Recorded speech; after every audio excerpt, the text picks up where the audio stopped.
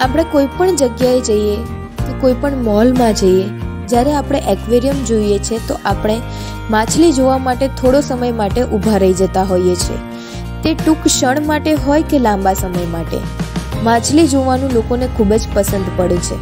વ્યક્તિઓ તેમના ઘરોમાં માછલી ઘરની જાળવણી કરે છે અને તાજેતરમાં છેલ્લા બે વર્ષથી માછલી ઘર પ્રત્યે લોકોનો ઉત્સાહ ખૂબ વધી રહ્યો છે.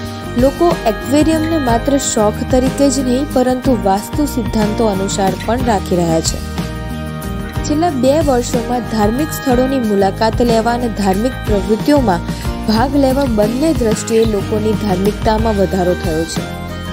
તેવી જ રીતે ઘરમાં એક્વેરિયમ રાખવું વાસ્તુ અનુસાર સકારાત્મક સંકેત માનવામાં આવે છે. અમદાવાદના બ્રેકફાસ્ટ સ્ટુડિયો એક્વેરિયમના માલિક ભાવિનભાઈના કહેવા મુજબ તેઓ બાર વર્ષથી આ વ્યવસાયમાં છે અને છેલ્લા બે વર્ષમાં લોકો વાસ્તુ સિદ્ધાંતો અનુસાર ઘરમાં માછલી ઘર રાખવાનું શરૂ કર્યું છે.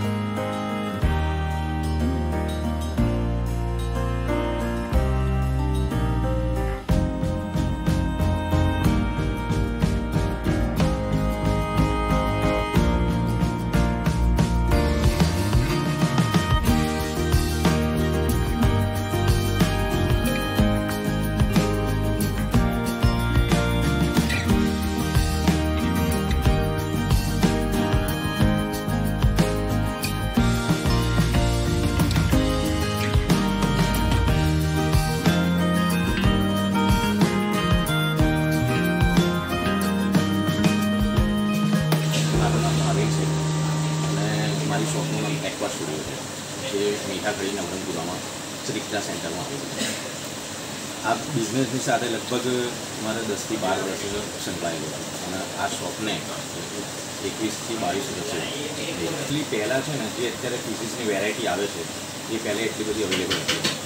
અને બીજી વસ્તુ કે અત્યારે દરેક જગ્યાએ વાસ્તુનું ચલણ વધારે છે. એટલે નવા જો ઘર બનાવતા હોય, બરાબર, તો એમાં પણ એ લોકો એક્વેરિયમને એની માટે ડિઝાઇન કરાવે છે, જગ્યા સ્પેસ એના માટે રાખે છે.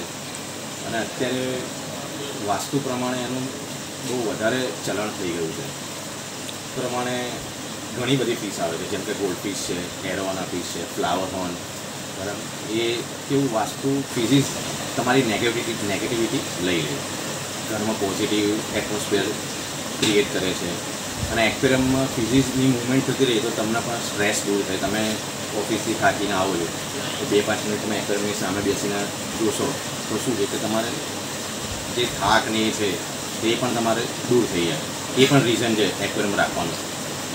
ઘણા શોખના કારણે રાખે છે કે બધાને આમાં કલર કલરિંગ પીસીસ ને બધું વધારે જોઈએ. એના માટે પણ. તમે કસ્ટમાઇઝ કરી શકીએ એક્વેરિયમ એમાં.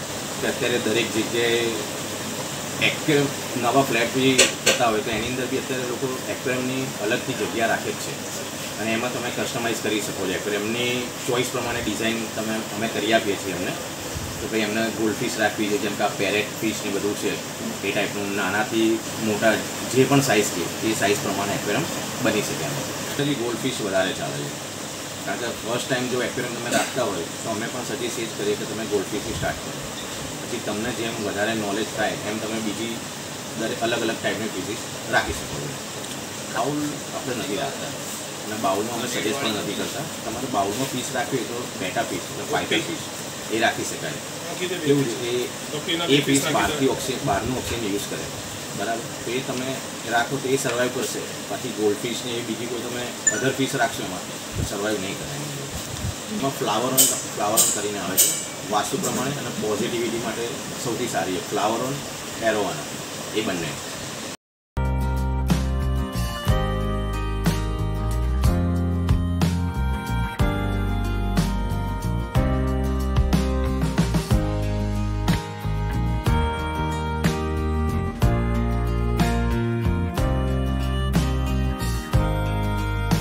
માછલી ઘરની મુલાકાત લેતા લોકો દાવો કરે છે કે જ્યારે તેઓ તેમની ઓફિસ અથવા કામ પરથી ઘરે પાછા ફરે છે, ત્યારે તેઓ થાકેલા હોય છે.